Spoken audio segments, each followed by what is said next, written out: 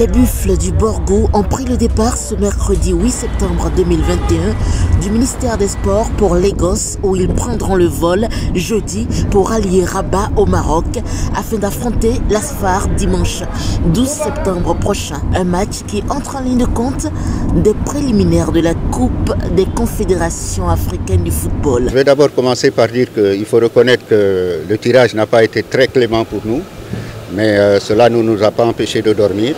Euh, il faut savoir que nous avons essayé de mettre euh, de notre côté tous les atouts nécessaires pour pouvoir faire face dignement et représenter dignement donc euh, le, le, football béninois à cette compétition africaine. Avant son départ, la délégation a reçu les encouragements du ministre des Sports Oswald Omeki pour qui le Bénin d'aujourd'hui n'est plus celui d'avant en matière de sport.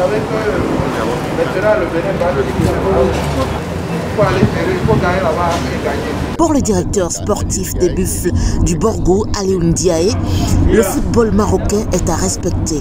Toutefois, les petits plats sont mis dans les grands pour que l'équipe représente dignement le football béninois. Si le tirage n'est certes pas clément, nous respectons beaucoup les phares, nous respectons beaucoup euh, le football marocain, mais il faut savoir aussi que nous ne les craignons pas du tout. Euh, C'est pour cela que nous avons mis tous les atouts de notre côté en faisant une préparation, euh, disons, exceptionnelle. Je pense que c'est la première fois depuis quelques années les buffles ne se sont pas aussi bien préparés en début de saison. Maintenant, il faut savoir que tout va se passer sur le terrain.